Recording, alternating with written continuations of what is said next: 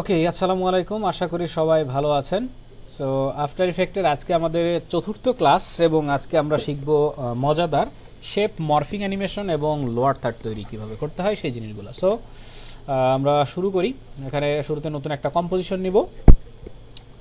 আজকে class four so আমরা প্রথমত দেখব হচ্ছে শেপ মরফিং গত ক্লাসে আমরা দেখেছিলাম স্ট্রোক দিয়ে কীভাবে মরফিং করতে হয়, সেই জিনিসগুলো দেখেছিলাম। তবে আজকে আরেকটু স্পেশাল কিছু দেখব।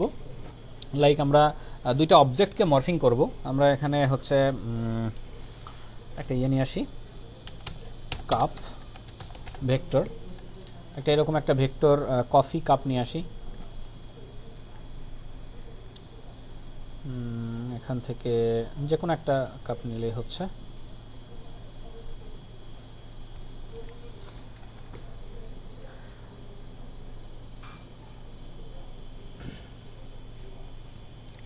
সো এটা ইলাস্ট্রেটর থেকে যদি আমরা ফাইলটা রেডি করে নিয়ে আসতে পারি, সেটা হয় খুব ভালো। যদি ইলাস্ট্রেটর থেকে না আনতে পারি, তাহলে আফটার এফেক্টে একটু সমস্যা হয়ে যেতে পারে। সো আমরা এটাকে প্রথমত এখান থেকে কপি করি আর ইলাস্ট্রেটরে যে শেপটাকে রেডি করে নিয়ে আসি, যে দুইটা শেপকে আমরা কনভার্ট করতে যাচ্ছি। সো আমরা একটা কফি কাপ থেকে আমরা এখানে একটা এই ককটেল কাপে যদি আমরা কনভার্ট করতে চাই, তাহলে কীভাবে করব? সো কফি কাপ থেকে ককটেল কাপটা একটু ডিফিকাল্ট হয়ে যেতে পারে। সো আমরা এই টাইপের একটা কাপে কনভার্ট করি। এরকম একটা কাপে কনভার্ট করব। সো ইলাস্ট্রেটরে যাই আমরা এখান থেকে নতুন ফাইল উনিশশো বিশ সেম সেম যে রেজুলেশনে আমরা আফটার এফেক্টের কম্পোজিশন নিয়েছি। মরফিং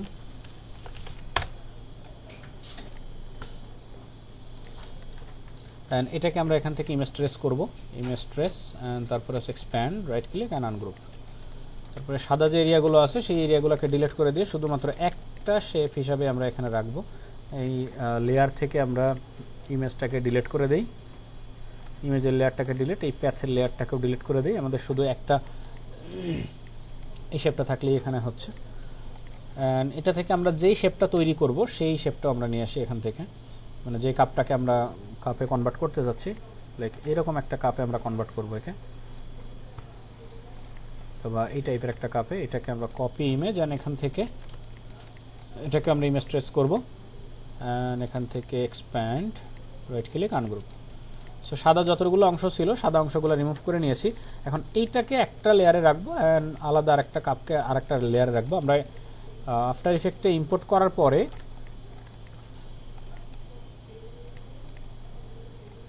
সো এটাকে একটু স্টাইল করে দিই এরকম।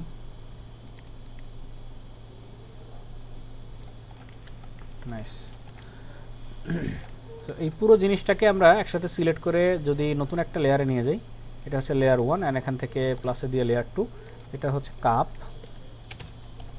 ওয়ান অ্যান্ড এর ভিতরে এই জিনিসগুলোকে সিলেক্ট করলাম এবং এই যে ব্লু যে বক্স আছে, এটাকে ধরে জাস্ট এই লেয়ারের উপরে ছেড়ে দিলাম, সবগুলো ওখানে চলে যাবে। ব্যাস। এটা হচ্ছে কাপ টু এটা ফুললি একটা এই একটা। সো এটার আমরা ফাইল সেভ করি। ইনস্টিটিউট আমরা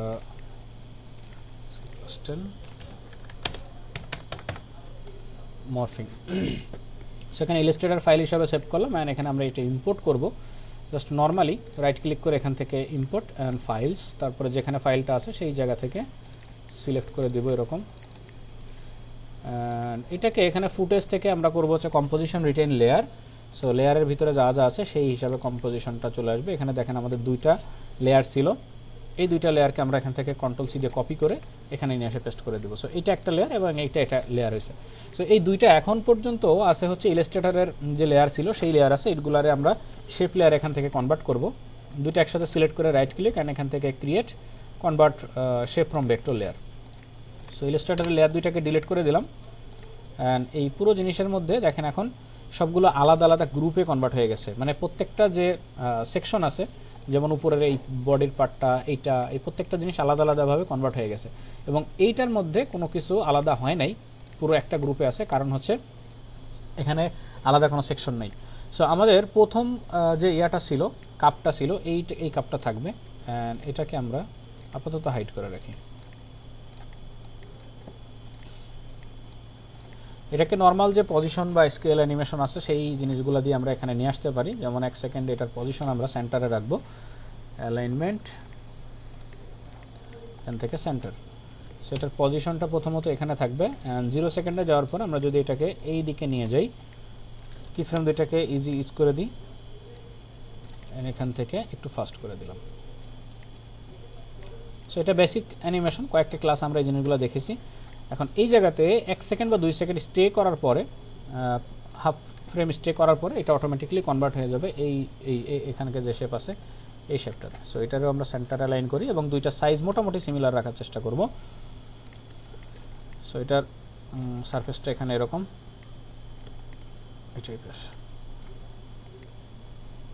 ওকে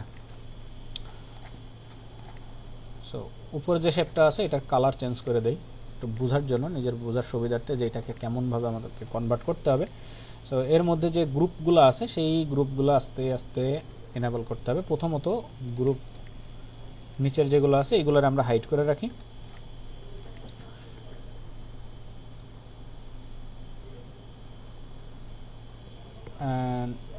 কন্টেন্টে যাই।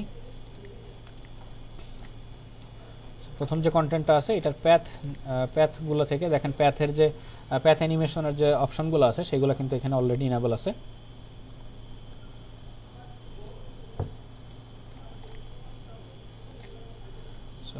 এটাকে আমরা কন্টেন্ট গ্রুপ এই প্যাথগুলোকে ধরবো। এখানে আসলো, পনেরো সেকেন্ড অপেক্ষা করল। এই পর্যন্ত এর যতগুলো কি ফ্রেম আছে প্যাথ যে তিনটা প্যাথের কি ফ্রেম এই কি ফ্রেমগুলো আমরা সেম সেম রেখে দেবো। এখান থেকে path one path two and path three so প্রথম থেকে এই পর্যন্ত এদের গোলা এরকম সেম থাকবে। এরপরে এক মিনিট আস্তে আস্তে এটাকে চেঞ্জ করে আমরা এরকম একটা কাপে পরিবর্তন করব। সো সো প্রথম যে প্যাথগুলো আছে, এগুলার আমরা ধরি এখান থেকে। এই সাইড থেকে ধরে জাস্ট এটার যে সাইজ আছে, সেই সাইজে কনভার্ট করে দেবো এগুলো। জাস্ট উপরে যে যে কাপটা আমরা রেখেছি, এটা জাস্ট রেফারেন্স হিসাবে যে আমরা কোন সাইজে বানাতে চাচ্ছি বা কেমন জিনিস বানাইতে চাচ্ছি। অ্যান্ড ফাইনালি ওই কাপের সাথে এটারে ম্যাচ করে দিতে হবে।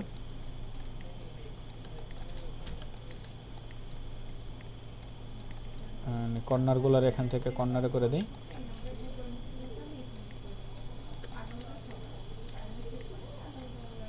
সো এই কর্নারগুলোরে যদি কনভার্ট করতে চাই, তাহলে জাস্ট এটাকে সিলেক্ট করে আমরা এই এখান থেকে কনভার্ট অ্যাঙ্কর পয়েন্ট যেটা আছে কনভেক্স এটাতে ক্লিক করলে দেখেন এই কর্নারগুলো এরকম সুন্দর মতো কনভেক্সের মতো ইয়া হয়ে যাবে আর কি। কি বলে, সোজা স্ট্রেট হয়ে যাবে। আর নর্মাল যে পেন টুল আছে, এটা সিলেক্টেড থাকা অবস্থায় আমরা এটা মডিফাই করতে পারব।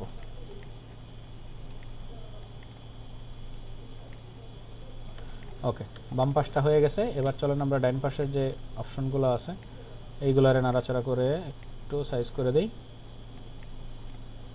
সেটার ভিতরে রেখে দেই এইটাকে কনভার্ট করি এখানে। আবার আমরা চলে যাই কনভেক্স যে কনভার্ট যে ইয়াটা আছে কনভার্ট অ্যাঙ্কর পয়েন্ট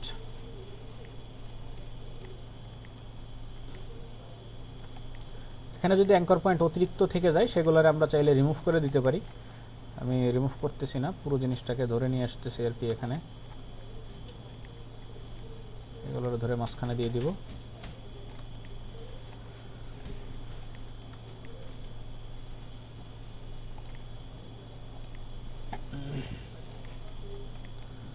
সবগুলো প্যাথ ধরে নিয়ে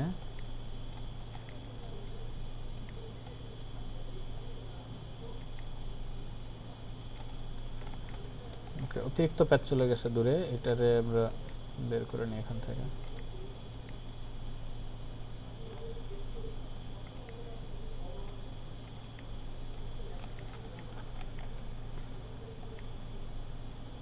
And এই কর্নারটাকে আবার কনভার্ট করে দিব। সো মরফিং এর একটা প্লাগইন আছে সুপার মরফ নামে। ওই প্লাগইনটা দিয়ে আমরা আরও সহজে মরফিং করতে পারি। দুই তিনটা শেপকে একসাথে জাস্ট সিলেক্ট করে দিলে একটা মর্ফিং হয়ে যাবে।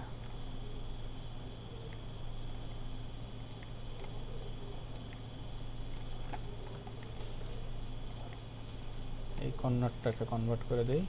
ব্যাস। So you are almost done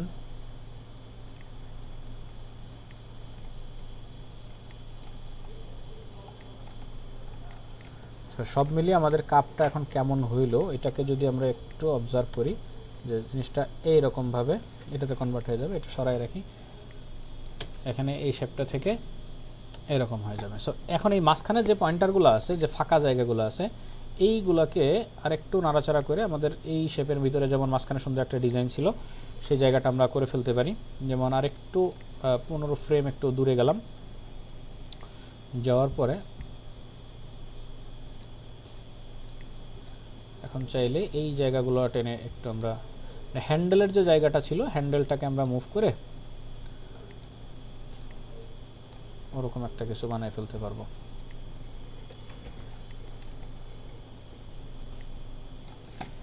convert করে দিই।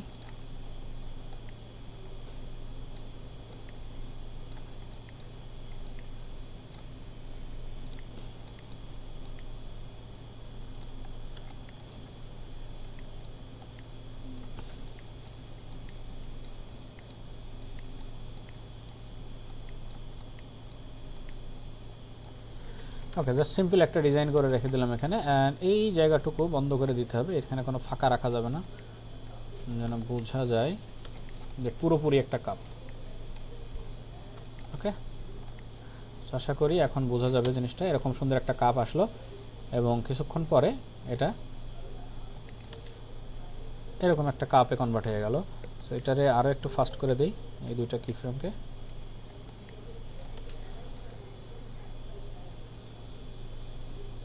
ওকে সো এরপরে উপরের দিকে যে শেডগুলো ছিল, ওইগুলো ওয়ান বাই ওয়ান চলে আসবে এখানে। সো সিমিলার মোটামুটি কাছাকাছি হয়েছে আর কি। আর একটু পারফেক্ট করে দেই।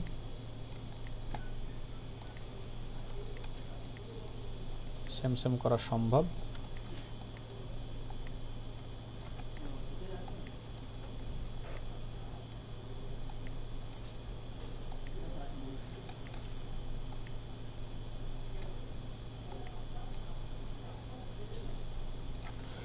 পয়েন্টারটা কনভার্ট করব এখান থেকে। এই অবস্থায়।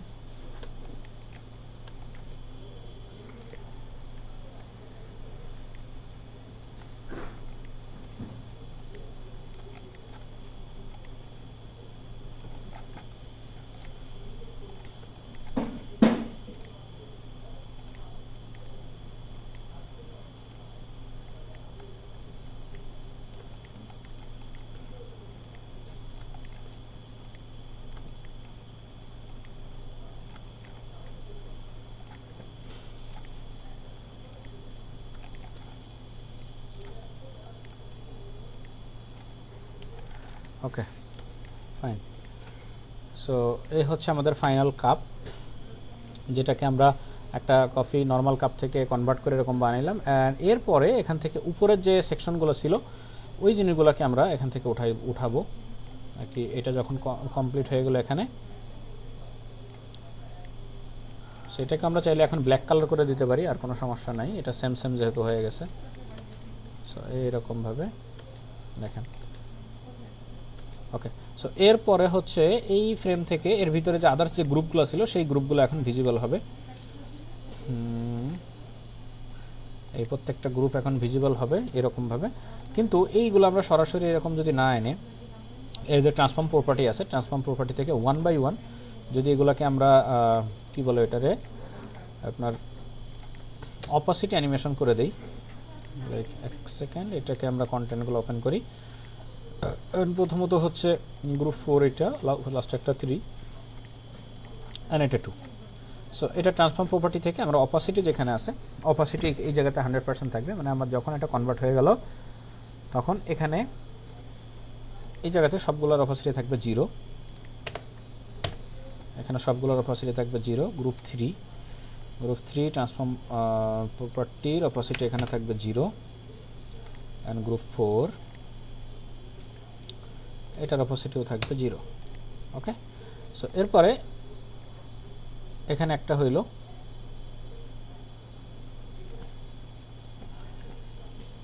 তার পনেরো ফ্রেম পরে আমাদের গ্রুপ টু যেটা আছে, সেটার অপোসিটি হান্ড্রেড পার্সেন্ট করে দিব। এটা তো ফোর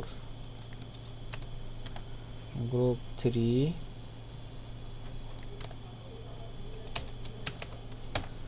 সেইটা তার পনেরো ফ্রেম পরে যে গ্রুপ ফোর যেটা আছে, এটা হান্ড্রেড পার্সেন্ট হয়ে যাবে। দ্যাট মিন্স এরকমভাবে ওয়ান বাই ওয়ান এগুলো উঠবে। তো জাস্ট একটু কি ফ্রেমগুলারে অ্যারেঞ্জমেন্ট করতে হবে, একটু এদিক ওদিক নড়াচড়া করে। দেখেন। ওকে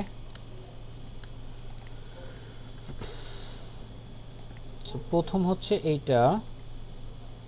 এখানে উঠল। অ্যান্ড এটা গ্রুপ ফোর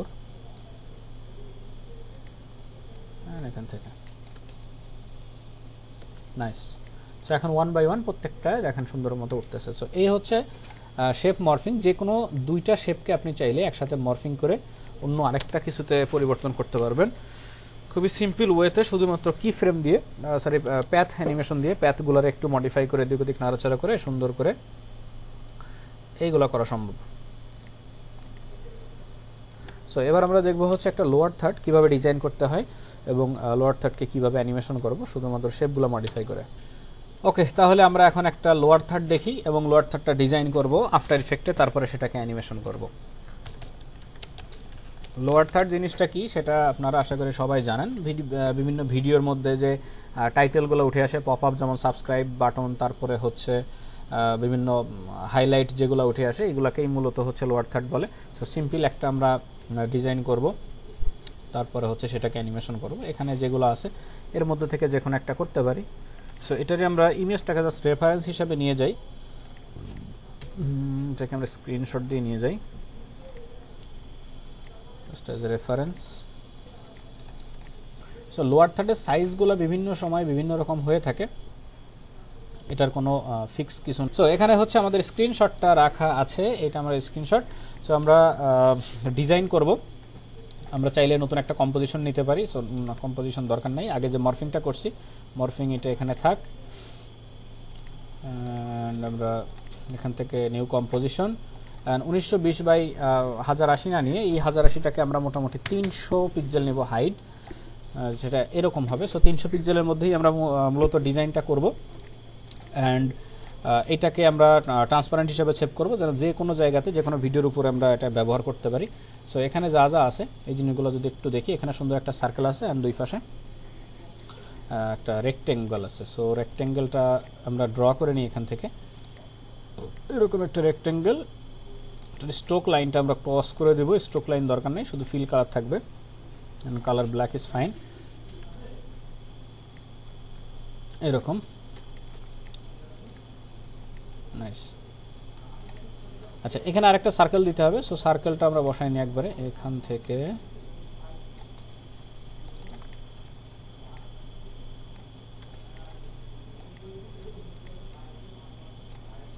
ওকে এবং এইটার দুই মাথা একটু বাঁকানো আছে, যেটা আমরা হচ্ছে প্যাথ অ্যানিমেশন করার সময় ওই জিনিসগুলোকে বাঁকা করে নিতে পারব। কর্নারগুলোকে হালকা করে রাউন্ড করে নিতে পারব। সার্কেলটা উপরে রাখতে হবে সার্কেল এটার নাম দিয়ে দিই সার্কেল সার্কেলের কালারটা চেঞ্জ করে একটু আমরা ইয়েলো কালার যেখানে সেম যা আছে, এরকম কিছু দিয়ে দিই একটা। সেখান থেকে আমরা একটু স্কাই ব্লু কালার দিয়ে দিলাম। এটা হচ্ছে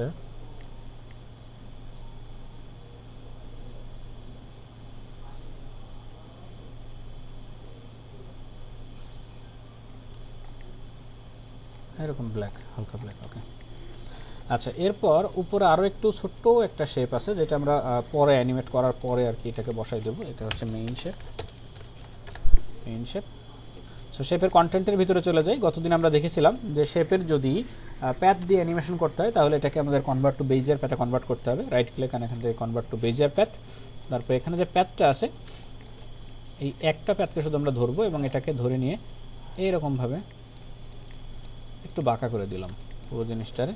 অ্যান্ড এটাকে হালকা এদিকে একটু বাঁকা করে দিই। সরি এটাকে এই মাথায় যাবে। সেম স্টাইলে দুইটাকে বাঁকা করে নিলাম।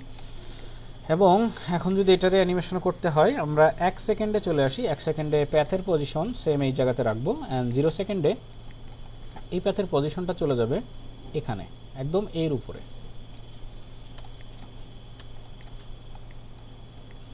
সেম টু সেম এখানে যা যেভাবে যেভাবে ছিল, যেন লাইনটাও বোঝা না যায়। এক্স্যাক্টলি দ্য সেম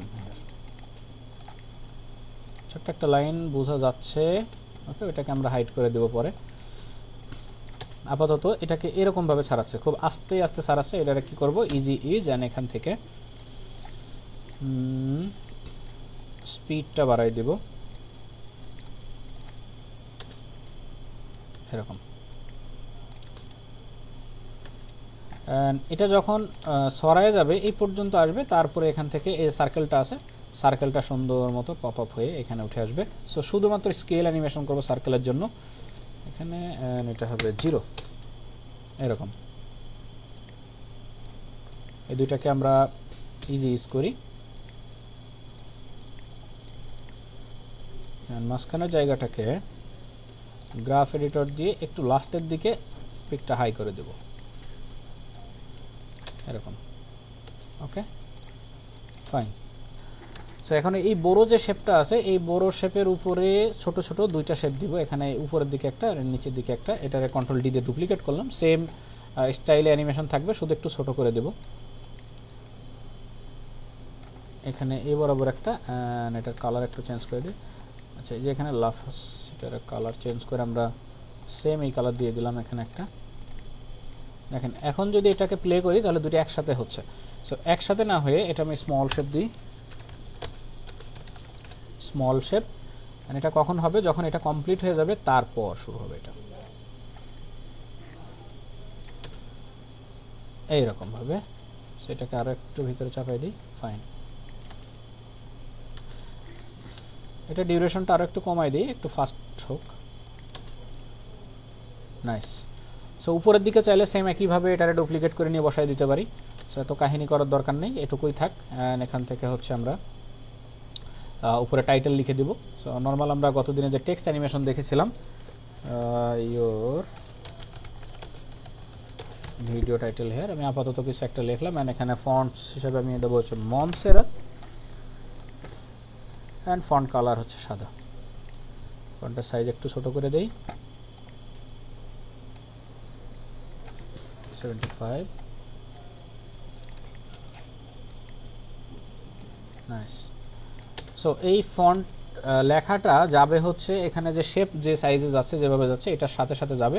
আমরা চাইলে এখান থেকে টেক্সটের ভিতর থেকে অ্যানিমেটর ব্যবহার করতে পারি।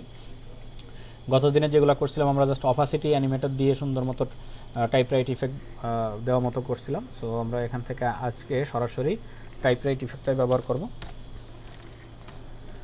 টাইপ টাইপ রাইট ইফেক্টটা অ্যান্ড এটাকে কন্ট্রোল করব হচ্ছে শেপের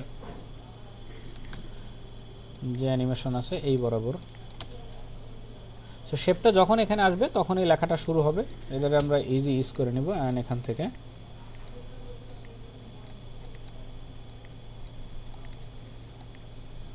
ওকে একটু ফাস্ট এরকম।